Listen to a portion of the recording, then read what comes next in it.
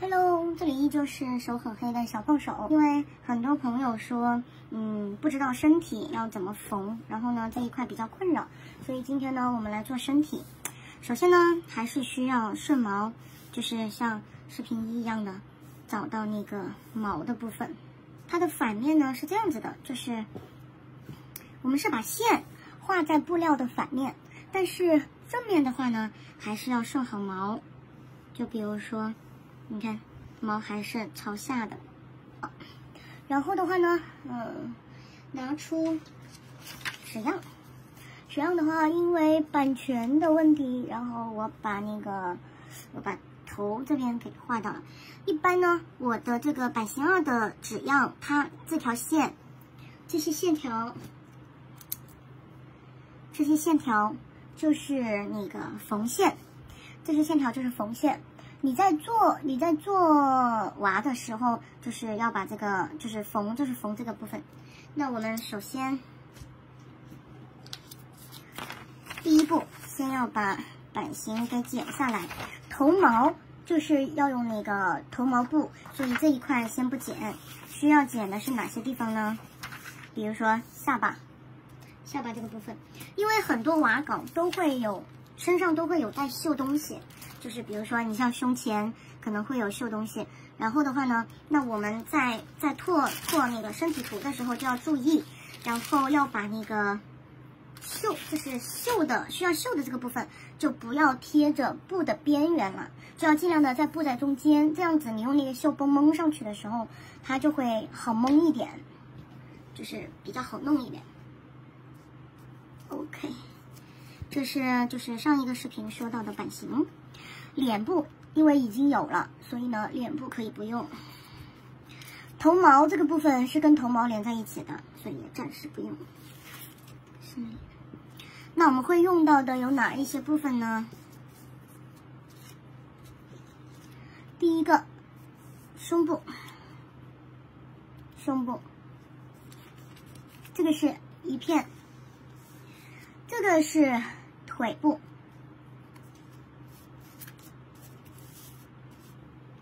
腿部这个镜像需要两片，镜像就是呃这个方向一片，然后反过来这个方向一片，两片，因为是两个腿。这一个这个部分，这个部分是下臂，下臂需要两块。我这里呢稍微长了一点，我是加长了零点五，加长了了零点五厘米，然后呢就是让他手稍微长一点。我喜欢穿衣服那个手手出来的小朋友。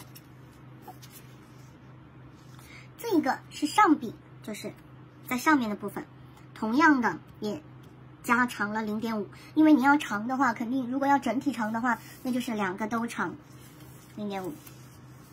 这个是身体，身体的话呢，也是需要做镜像的，做镜像的，这边一片，然后翻过来镜像的，这边一片，一共两片。下巴，下巴一片，这个是脚踝。脚踝也是需要镜像的，也是需要两片，镜像两片。然后这个是耳朵，耳朵，哦，这里耳朵，耳朵部分的话呢，呃，这一个方向的，呃，就是这一个方向的两片，镜像的两片，因为有两只耳朵，各两片。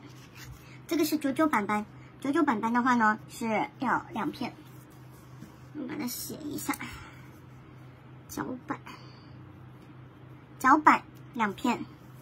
脚踝乘以两片，下巴一片，然后上臂乘以两片，胸部乘以两片，耳朵乘以两片，然后镜像再乘以两片，上臂乘以两片，乘以两片，乘以一片。这个是需要镜像的，镜像的，镜像的，自由人草啊，我也没有办法。镜像的，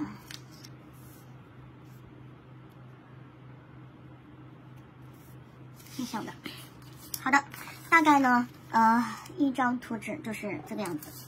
那下面的话呢，我们继续拿出高温消失笔来画。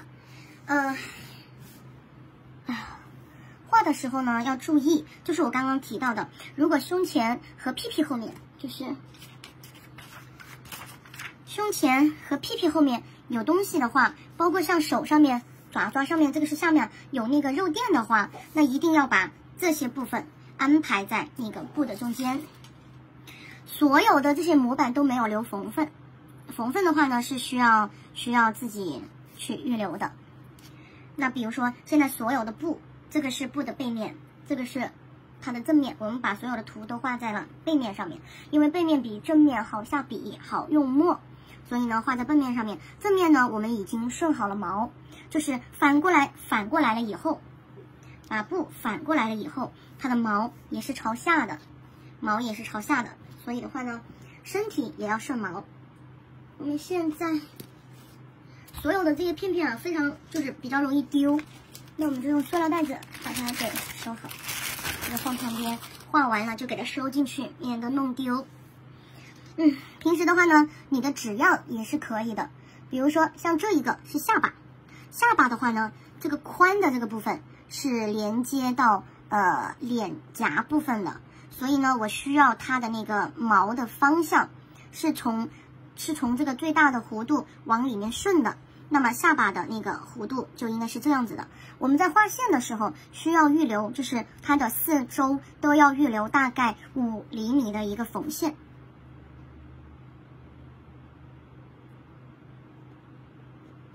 画线的时候一定要就是用手紧紧的压住纸样，就是你看现在在画的时候，其实是可以看见那个布。它是在动的，如果你不把它压实的话，它就比较容易就会出问题。就这个笔画的画的没有墨水了，就可以在纸上面稍微画一下。手一定要压实，不要让这个板子有任何移位。如果它一旦移位了的话，你的那个娃就很有可能脸会歪，或者身体会歪。所以呢，这一部分唯一注意的就是所有的形都要把握好。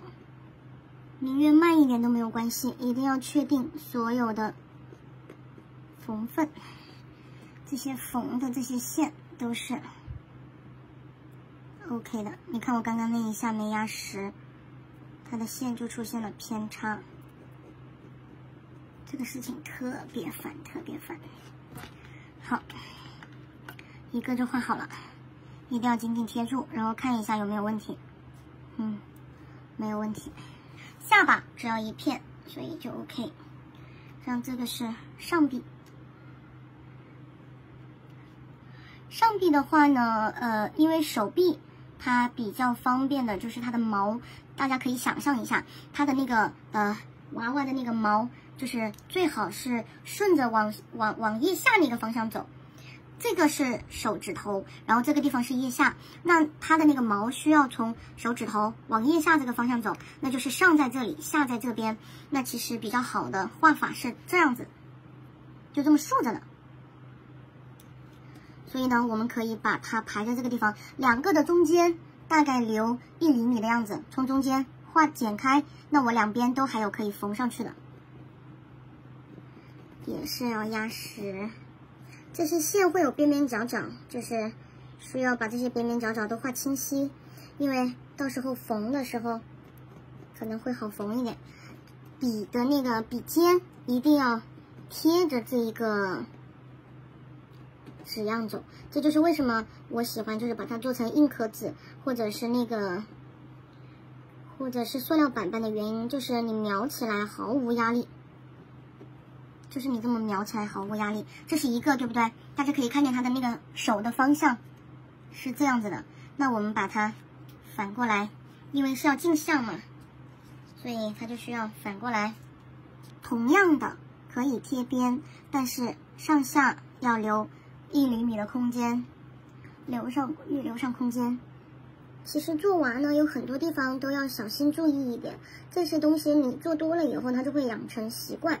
嗯，现在我给大家分享的，其实也是我做了那么多娃以后的，就是经验。因为以前一个身体或者一个面皮绣几次的这种情况很多，就是绣因为我做娃的习惯是不到最后一刻你就不知道它是不是真的 OK，因为环节太多了，有可能在任何一个环节出现问题。好，那这一个是朝另外一个方向的，OK，它的任务也完成了。这一个是胸部的，身体的，那要注意上面、旁边都预留出来，上面和旁边都预留出来。我们先把大的部分给画完，然后再把小的来进行填空。这么安排的话呢，其实有一个好处，它会比较节省布料，就是布料不会被烂。浪费太多，有时候我也会用一些边角料把耳朵给做了。有一种预感，今天这个视频会很长啊，我尽量的把那个步骤都说清楚吧。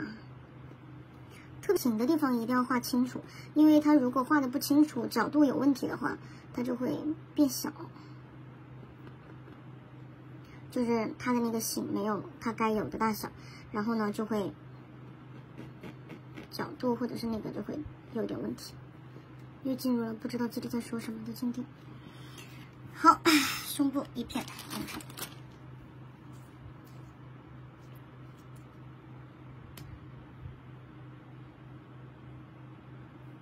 上臂跟下臂一样。我像嗯，一般情况下来说，一个二十的娃呀，我缝这些地方完全用手缝，就是。不喜欢用缝纫机，或者是其实我缝纫机掌握的不是太好，所以的话呢，我可能就要用手缝。用手缝的话呢，整整会缝到，呃，一天，一整天，就是加上把娃最后的缝合好，然后加上合体。嗯，所以我的视频的话，如果这个作为第二步的话，第三步就是绣花，第四步是嗯合体。合体塞棉花，啊，下臂上臂，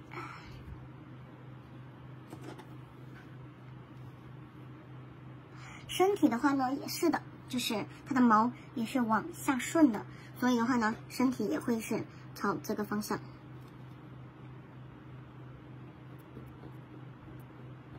如果那个图稿手上面有猫猫的垫子，就是那种动物的小垫子，那就一定要提前先把它画在画稿上面，因为后来我们也是需要绣的嘛。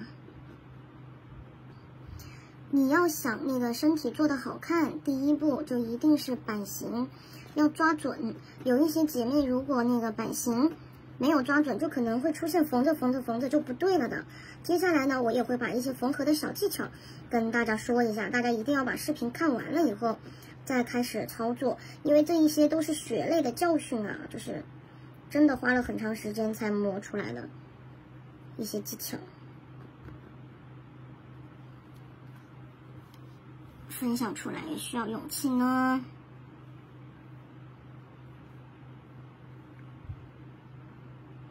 节约空间，就尽量的把它排好。经常弄的手抽筋，就是压这个板子压的，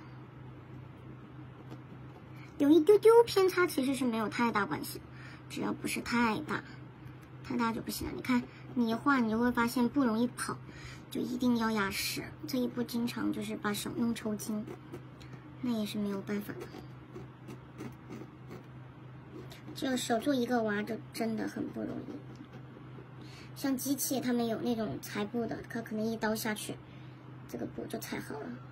但是人为的话，手做的话是真的很难。好嘞，身体镜像两遍。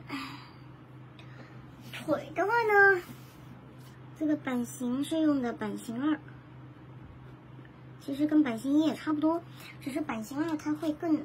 就是周正，板板正正一点，镜像。哎呦，刚刚没有拍到，笑死，要笑死了哟！好嘞，推推。然后我们就去看，这里就会有一些很大的空间。做这个的话呢，可能小了一点，那我们可以做九九板板。就是把它填空，脚板板的填空，看这里够不够画一个？这里不够。这个是脚踝，脚踝的话呢，其实就可以不用太在意它的那个顺毛、逆毛的那个部分，因为它的面积不多。大家做耳朵的时候就一定要注意。呀，跑出画面了呀！我也是没有办法呀。这里一个朝这边的，那个在镜像，还有一个朝这边的，可以跟上面的成一条直线。来，交换。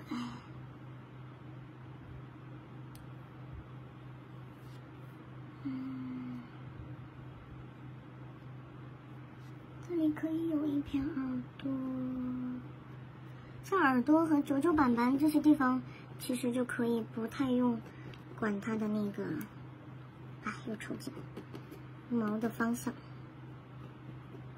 我只要留好倒倒形就可以了。好的，再来两个，好嘞，现在。整个就全部画完了，预留就是一定要预留一些空间，因为我的布太大了，所以呢，我会把这一整条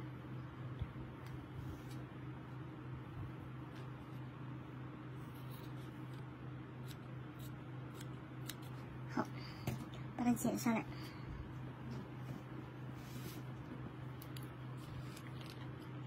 整条，一二三四五六七八九十十一十二，十三十四十五，十六十七十八，身体的部分大概有一十八个组件。这个时候，我们刚刚说到胸这个地方有那个需要绣的地方，那怎么做呢？就是找一张水溶膜。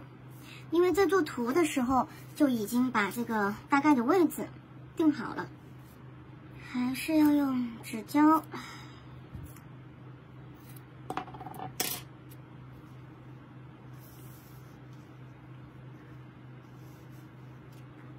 贴一下，捏一下以后。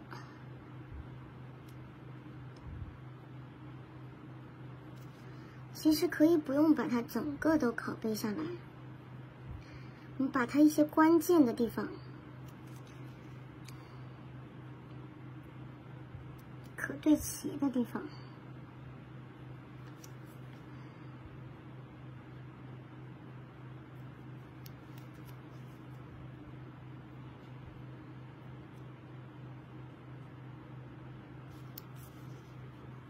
然后把它点好。点好了以后呢，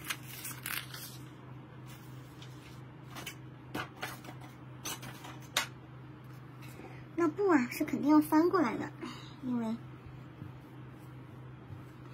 因为画的比较长，所以呢，现在我们也能看到一些印子。啊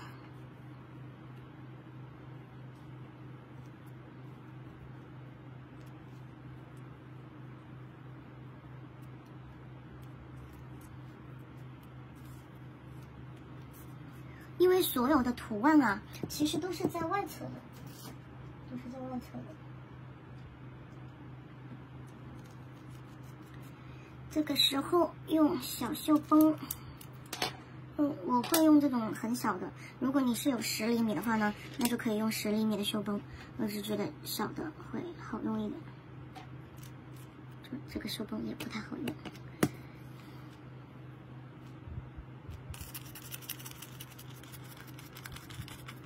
不要把它剪下来，剪下来的话就特别不好绣，因为旁边的布料肯定没有这么多。然后可以透过那个光，就是你可以把手机，就是如果画的没有这么明显，你可以用手机，就是手机的那个灯光，把这个图案放在那个手机的那个呃灯后面，然后的话呢，让它那个光透过来，就跟我们那个画漫画的那个透写台一样的，然后再把这个水溶膜对好，再把它给弄上去，然后就开始绣它。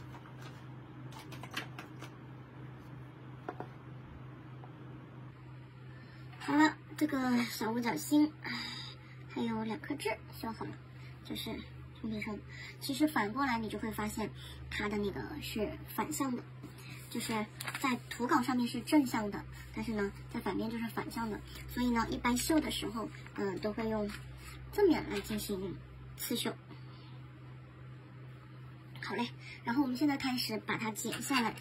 剪下来的时候呢，一定要注意，要预留大概五厘米的样子，就是不要贴着蓝色的这个线剪，因为蓝色的线是缝线，除了缝线的话呢，还要有一些预留。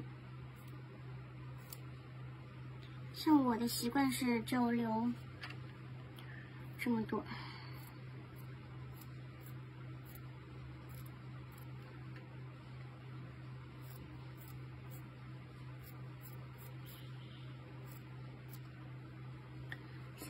下巴，来其他的部分。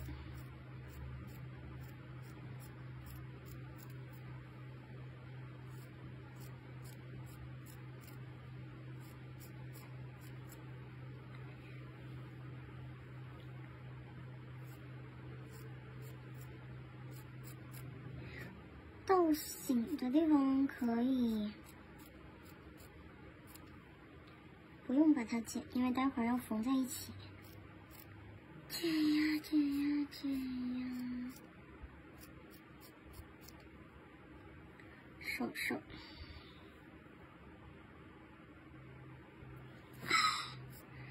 搞着搞着就跑出画面了，无语，真是。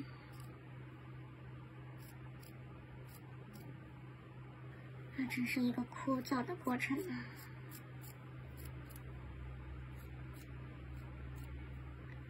跟耳朵有点近。了。